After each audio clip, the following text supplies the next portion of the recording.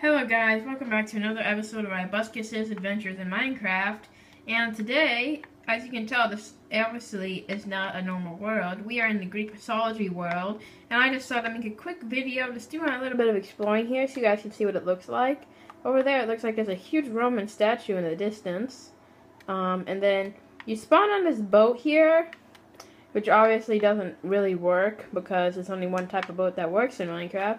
Then when you get to the dock, there's that chest, which I've already looked in, and it has two boats. But that's all I've seen so far.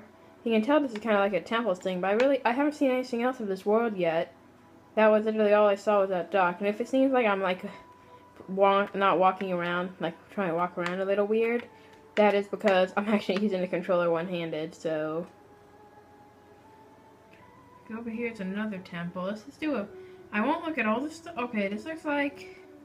There's an entrance here. Hmm. This looks. Is this a, I think that's a painting. Yeah, that looks like that's a cool painting, and there's like a little fountain here. Oh, it looks like Zeus.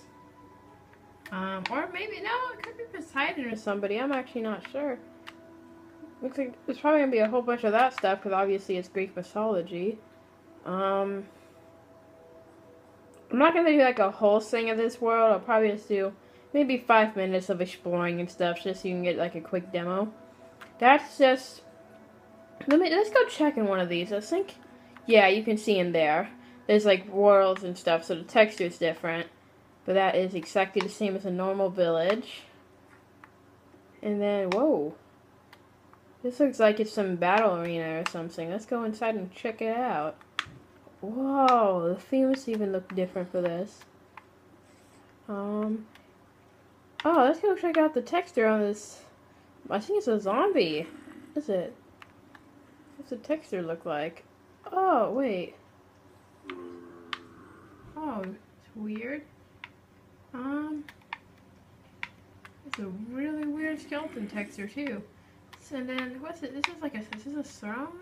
Looks like some kind of monster or something. Um. Also, sorry if the whole screen's not in the on. Been recording because, like I said, I'm doing all this stuff one-handed. Um. And just so you know, I'm obviously am in creative mode. And then this looks like a really cool labyrinth, which obviously I'm not going to go in. That looks like a minotaur. That's either the entrance or the exit. Um. Looks like we're nearly complete. There's a whole bunch of stuff. Let's go look over here next. See if I can zoom over there.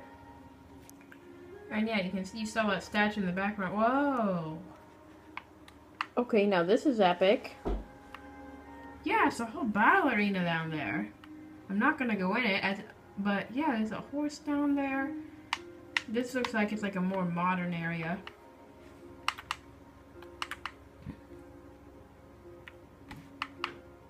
Trees don't look that different from the normal. Um, also, this looks like sandstone. It might be, but I'm not sure. See, is this...